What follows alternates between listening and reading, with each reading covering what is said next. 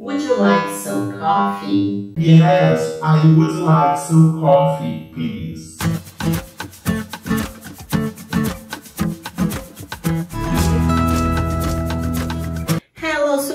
Sobrinhos e sobrinhas fofurias da titia. Se você tá aqui nesse vídeo, se você clicou neste vídeo, eu tenho certeza que você não quer mais falar com o robô. E se você não quer mais falar com o robô, esse vídeo vai fazer muito, muito sentido. Porque existe aquele inglês que eu sempre falo que é o inglês da vida real, que é muito diferente daquele inglês de caixinha que a gente aprende no livro, aquelas respostas todas prontinhas, certinhas, e a gente vai falar um pouco disso. E se você quer destravar o seu inglês de fato e parar de falar igual um robô, ganhar naturalidade, pronunciar mais bonitinho, diminuir o seu accent e também ganhar essa malevolência na hora de falar, você precisa estar na minha próxima turma de mentoria. A Mentoria 21 funciona como se fosse uma imersão.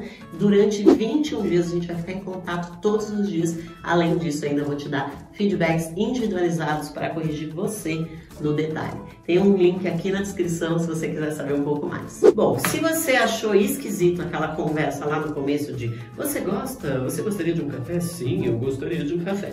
Claro que as pessoas na vida real, no inglês da vida real, não vão falar desse jeito. Então, em inglês também não podemos ficar só com aquela mentalidade das respostas prontas. Sabe aquela frase que a gente aprende no primeiro dia da aula de inglês? How are you? E a pessoa responde, I'm fine, thanks. Hoje em dia é muito, muito raro alguém usar I'm fine, thanks para esse fim, inclusive para falar, ah, eu estou bem. E é pior ainda quando vem I'm fine, thanks, and you, que é uma resposta muito quadradinha, muito dentro da caixinha, tá? Existe sim uma regra que a gente pode utilizar que é chamada de short answers, para dar um pouco mais de malevolência para o seu inglês. Nós vamos falar um pouquinho dele, como ele funciona na norma culta, mas também vamos deixar um pouquinho de resposta sim e não mais natural, do jeito que a gente falaria na vida real. Então pensa aí comigo, se um dia alguém chega para você e fala assim, você gosta de, de café? Você não vai responder sim, eu gosto de café. Agora, uma coisa que a gente tem que ter em mente é que a gente não vai só responder sim, tá, em inglês. Quando você responde só o yes ou só o no, pode parecer para outra pessoa, para o seu interlocutor, que você está desinteressado na conversa, que você não está afim de conversar. É meio que um tá, tá. Tipo, pode parecer rude. Então, se você quer responder uma coisa mais curtinha, você pode sim se utilizar da regra dos short answers. Como que é essa regra? É uma regra que você tem que prestar bastante atenção em como foi feita a pergunta. Porque como foi feita a pergunta é o auxiliar que você vai usar para responder. Então, por exemplo, eu faço para você uma pergunta com o verbo can, que é o verbo poder no sentido de conseguir.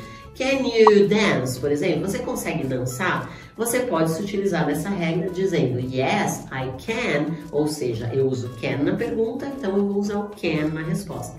E o no também seria do mesmo jeito. No, I can't. Então eu estou usando o mesmo, a mesma regrinha. Perguntei com can, vou responder com can. Se eu te fizer uma pergunta, por exemplo, uh, com do, do you like uh, dancing, for example? Você pode perguntar, você pode responder yes, I do, or no, I don't. Tá? Então a gente está usando um short answer. Mas lógico que você sempre pode dar uma entonação até mais natural, para não parecer uma coisa muito robotizada. Né? Então você pode falar, oh, yes I do, e, nanana, e continua, inclusive, a conversa, dá um feedback para a pessoa continuar perguntando, né? Então é legal para você deixar é, isso parecendo um pouco mais natural. Bom, então você sempre vai ter que ficar ligadinho para responder dessa maneira no auxiliar que foi usado. Tá? Então, é, isso também ajuda você a ficar um pouquinho mais natural. Eles se utilizam sim dos, uh, dos short answers e não é uma coisa assim é, tão esquisita e tão robotizada.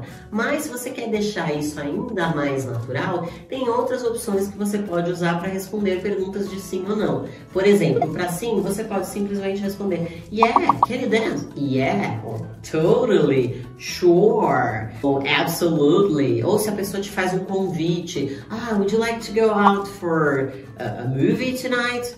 And you can say, totally, amen, claro, conta comigo, tô dentro. Ah, então é muito comum a gente responder as coisas No português do, do dia a dia a gente fala assim, ah, claro, com certeza, vamos aí, né? Então em inglês também vocês vão ver bastante dessas respostas.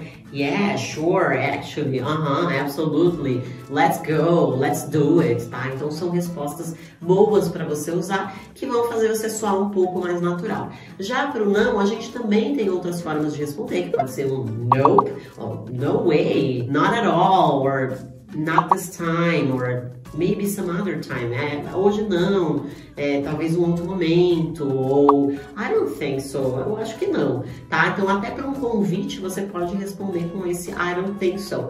Então qualquer uma dessas respostas de não também vai deixar o seu short answer mais parecido com algo que você vai encontrar na arena, ou seja, na vida real. Então as pessoas falam mais assim do que se utilizando mesmo da regrinha dos short answers. Não que elas estejam erradas, mas você pode usar esse jeito mais malevolente, natural para falar. Para perguntas abertas, a gente também vai ter a mesma mentalidade, tá? Para responder. Então, por exemplo, quando a pessoa pergunta para você, What's your favorite kind of movie? E aí você não vai responder, My favorite kind of movie is drama. Então fica muito esquisito, porque a gente não fala assim também na vida real em português. Mas você fala, ah, qual é o seu filme preferido? O meu filme preferido é. Fica esquisito e robotizado. Então você não soa natural quando você responde dessa maneira.